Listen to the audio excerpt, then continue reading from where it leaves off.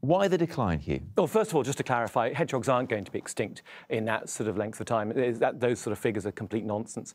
But that shouldn't say that the there isn't a serious problem. The hedgehog population in this country has declined in urban areas by uh, around a third since the turn of the century, in rural areas by over a half. So these are very serious. But, but to um, put on, on you know, fictitious figures like that will just uh, discredit the really sound science which goes behind the conservation work of the people who I work with, the British Hedgehog Preservation Conservation Society mm and the People's Trust for Endangered Species. So the problem so not going to not going to be extinct, but still a very concerning situation. Very much so. So very why concerning. why is that the case? what, what is what is stopping hedgehogs from thriving in our country like they used to?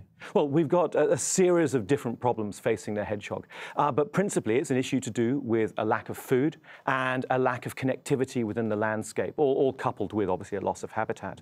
In the rural situations, you have thinner and fewer hedgehog, hedge, hedges, which obviously, I mean, hedgehogs aren't called that on a whim, you know, they hog the hedges. Um, you have got a, an environment which is, is devoid of food. You have an industrial agricultural system which removes a lot of the macroinvertebrate food, the worms and the other bugs that hedgehogs like to eat. And also they're in competition and occasional predation with badgers. So they have a very difficult life in the countryside. And in suburbia, they have got potentially a fantastic home.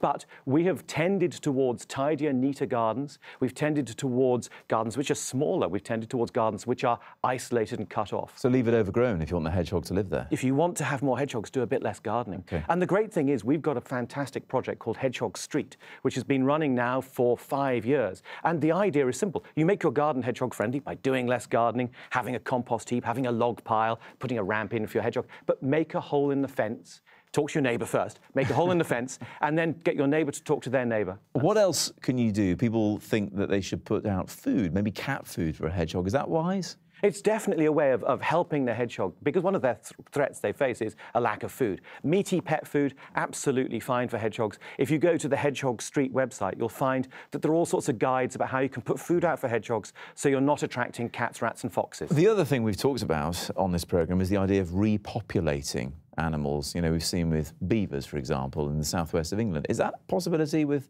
with our hedgehogs? It's not something we're looking at yet because there are still plenty of hedgehogs around in some places. But also, one of the things you've got to recognize is if we do not understand fully the cause of the decline of hedgehogs, mm. and that cause is still in place, you can repopulate as much as you like, but you're still what we would call feeding a sinkhole. The population would still carry on dwindling. What we really need to do is look at reconnecting our environment, making sure there are holes in fences, making sure there are ways across busy roads, making sure that hedgehogs can get from our gardens into wilder space.